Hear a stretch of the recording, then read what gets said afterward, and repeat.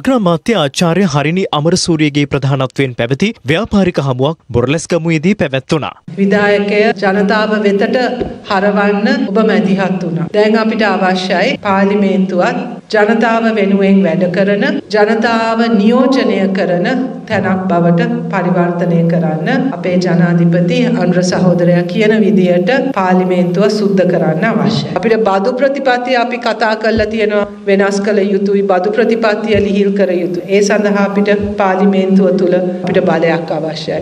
අපේ අධ්‍යාපනය අපි හදා ගන්න ඕනේ අපේ නූතන සමාජයට ගැලපෙන විදිය. සියලු දෙනා වෙනුවෙන් සියලු දෙනාට විශ්වාසයක් ඇති වෙන සෞඛ්‍ය පද්ධතියක් අවශ්‍යයි. ඒ සෞඛ්‍ය පද්ධතිය නියාමනය කරන්න සෞඛ්‍ය පද්ධතිය තුල සිදුවිය යුතු වෙනස්කම් කරන්න අපිට ප්‍රතිපත්ති හදාන්න ඕනේ. අපිට මුදල් වෙන් කරන්න ඕනේ. අපේ රජයේ ප්‍රමුඛතා හැටියට අපිට අයවැයක් ඉදිරිපත් කරන්න ඕනේ. ඒ අයවැය අධීක්ෂණයට යටත් වෙන්න මේ සියල්ල සඳහා අපිට ශක්තිමත් පාර්ලිමේන්තුවක් අවශ්‍යයි. පාර්ලිමේන්තුවෙන් වෙනස් දෙයක් බලාපොරොත්තු වෙනවා නම් වැඩ කරන පාර්ලිමේන්තුවක් අපිට අවශ්‍ය නම් ඒ බලය තියෙන්නේ ඔබට ප්‍රතිපත්ති හදන තැනට ප්‍රතිපත්ති ගරුක අය ඉන්න ඕනේ. නීති හදන තැන නීතියට ගරු කරන අය ඉන්න ඕනේ.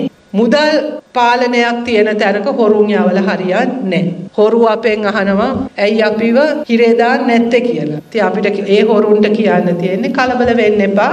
නීතිය ක්‍රියාත්මක වෙයි. අපි මේ මාධ්‍ය ඉස්සරහට ගෙනල්ලා මොනවත් නිකන් ෂෝ දාන්නේ නීතිය ක්‍රියාත්මක වුණාම අදාළ විදියට අදාළ තැනට ආයි හරි දඬුවම ලැබෙන විදියට ඔගොල්ලෝ හිරේ යන්න ලෑස්ති වෙලා ඉන්න. කලබල වෙන්න එපා.